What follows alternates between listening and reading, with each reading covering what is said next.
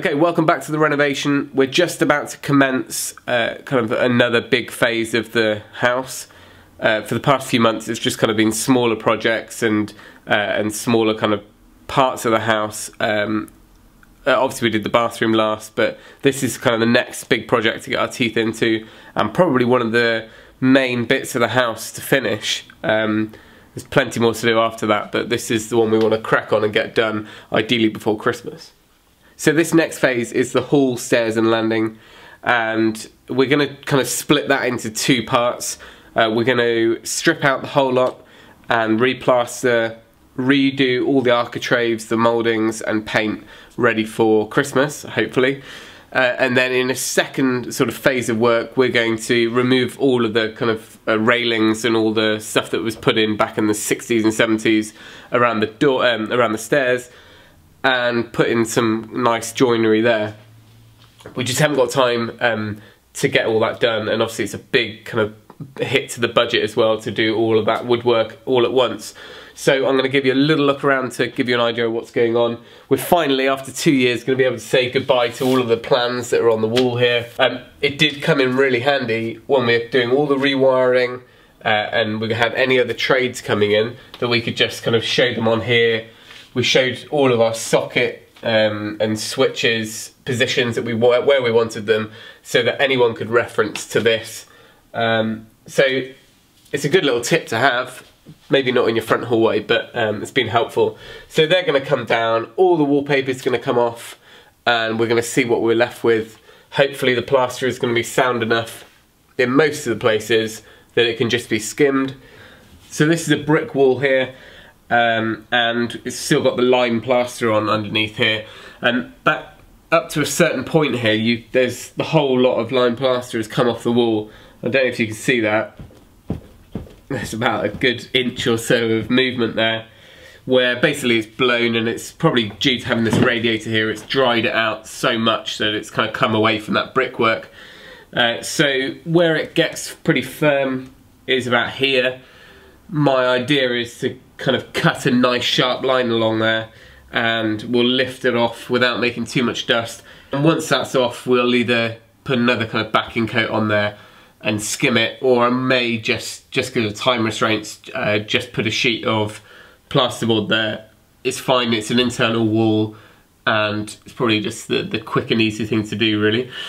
It'll all get skimmed anyway. Um, but once it kind of gets to about this height, I think the rest of the wall's going to be solid under there. So where we built this doorway, uh, all the stud work's exposed there still, so that's going to need to be boarded. Uh, I fitted that little stained glass window at the top there, that was the one we found a couple of years ago and finally kind of got that in place. Fortunately this is the one room in the house where some of the original cornice was left so that's going to be uh, a nice feature to keep. The rest of this will obviously come off. These architraves here are not original. Um, they would have been nice, beautiful, big ones originally, such as this one here. So the, some them on the inside of the rooms, they were kept uh, but on the outside in the hallway, whenever this kind of renovation happened back in the 60s or 70s, all of this was ripped out and they've put in these skinny ones. So they'll be coming off something nicer going back on. These skirting boards are all going to come off. These are not the original ones. Uh, and we've got absolutely loads of the tall skirting which we've used in the dining room. Um, this is something I picked up last year or maybe even 18 months ago from another renovation which had kind of fallen through locally and I bought about 60 metres of this stuff um, for about 50 quid so that's a really nice uh, high skirting and much more like this stuff in the lounge which is the original stuff. I also need to do something about this. Um, I started pulling off all the panelling. What There used to be panelling all the way down here and then in addition to that they kind of put some hardboard and that was wallpapered um, so I stripped it back so I could see what we had there um, I think what I'm going to do is just batten off here just by um, kind of with some 2x1s and then I can board the whole of that. There's a little bit more of the hardboard to take off up there but that'll just give us a little bit more space than what was already here. Means we can kind of fit some furniture in here. Um, I'm probably going to drop a stud wall down in the future, but what I want to do is skim it um, all the way down the bottom of the, uh, to the bottom of the stairs, and then we can drop that down in the future, um, and then that way we could have some sort of storage under there. So coming back down on this side of the hallway, originally we planned to do panelling on the lower half of the wall, uh, similar to how we'd done in the dining room, and uh, that would have given it quite a nice appearance here, but it would have meant bringing out the wall by another, probably about another inch or two. I mean, it's already quite narrow here. So I think what we're going to do is going to have that high skirting board along the bottom anyway. Um, and then we're just going to have a dado rail just for a bit of um, uh, an accent, sort of a feature. And hopefully just that, that high skirting being the kind of nearly 12 inches that it is, any kind of the pushchair wheels or people's boots or whatever are still not going to mark the wall and they can easily be wiped. Um, and even with the kind of kids coming up and down here on toy bikes or anything, this is going to do most of the protecting. But that's the plan. So skirting, dado, and large architraves, and I'll show you those now. These are the two architrave samples that we've um, had posted to us. There's probably about 12 or more different mouldings that they had. These two were probably the closest to what we already had in some of the existing rooms and they were the widest as well. Um, the, the problem we had is our skirting is already quite uh, thick, it's kind of 25 mil uh, thick already so we couldn't have anything that was less than that. Um, this one I would have loved throughout the house, it's a little, probably a little bit over the top um, for the hallway plus we've got some areas where it actually won't fit and there's light switches and things um, so that wasn't really an option. Uh, however, I might use it for a couple of the external doorways in the future. So we've gone for this one here, which I think is about 95 mil and it's 28 mil thick, so it's still quite a nice thick architrave. So that's the side profile, and there's just a couple of these relief cuts in the back here uh, as well.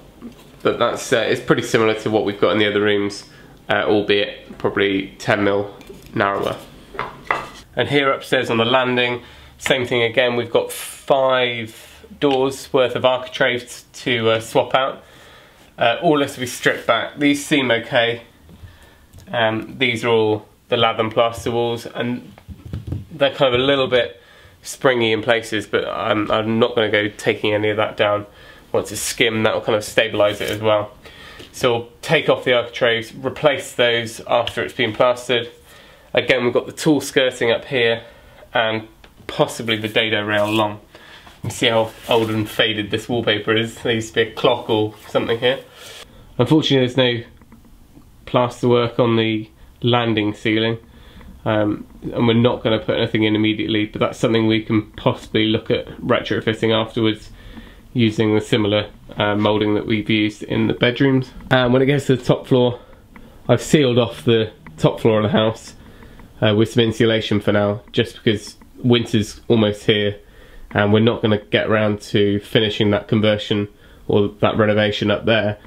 So I've sealed it off, so any plaster work is just going to be taken to the ceiling level and we'll carry on up from there next year.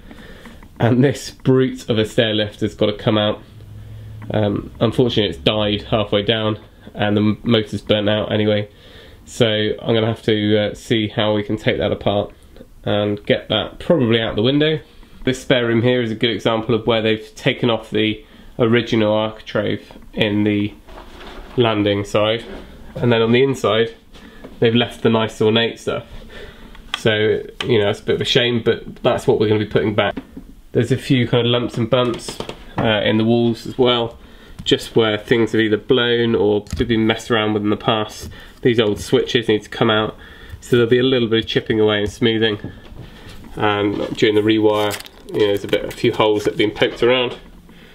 But we'll, as soon as we get this wallpaper off, we can have a look and see what we're dealing with.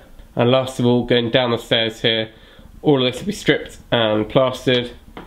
And coming up that side wall, I think I'm just going to do a wall-mounted handrail, similar to what's there now, but um, something a little bit slimline, uh, something that we've kept in against the wall a bit and that will ideally end up the same height as the new woodwork which will be replacing all this metal railing. So that's our pre-Christmas plan of action and uh, hopefully you can join us for those videos that we'll make along the way. Remember if you haven't subscribed already you can do so by clicking the uh, bottom right hand corner uh, or you can click the link below. And remember if you can do it yourself and we'll see you next time.